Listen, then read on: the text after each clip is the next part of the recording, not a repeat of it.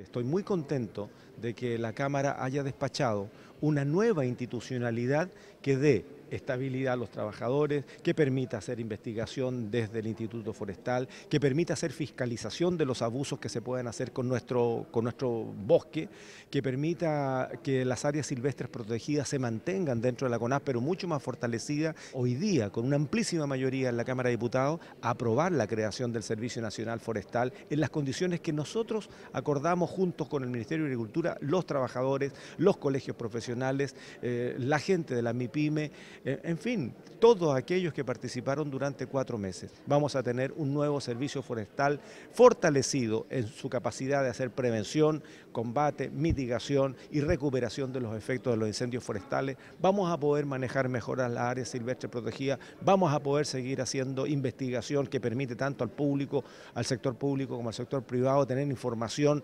eh, absolutamente autónoma, con libertad. Vamos a poder tener